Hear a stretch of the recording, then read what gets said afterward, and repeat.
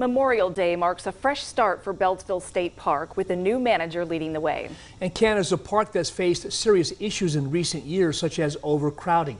WBRE 28, WYOU 22 Eyewitness News reporter Caroline Forbach has more tonight. Beltzville State Park is officially open for the season, and there's a new sheriff in town. We're saturating the park with officers. Um, we have a bunch of staff coming in from other parks and from other agencies as well. Um, fishing boat has people out on the lake, and they'll be here on the weekends to help us help us address some of the issues we have here at the park.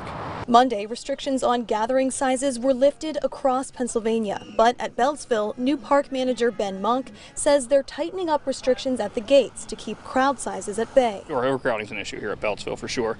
Um, one of those things that we've done to address that is we shut the soccer fields down. We don't have any more overflow parking. We've got rid of that.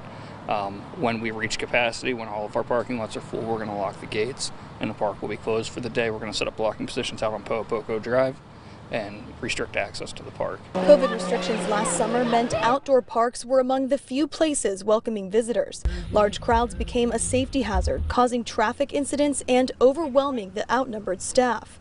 Litter got out of hand as well. Monk, who came to Beltzville from Ohiopyle State Park in January, says the presence of extra staff is already making a difference. Diane Schwakuski, chair of the Friends of Beltzville, a nonprofit volunteer group that supports the park, says Monk has the right background to take take on this park. He comes from a park with a problem park area, and I think under his leadership, you know, we're going to move forward in a positive way.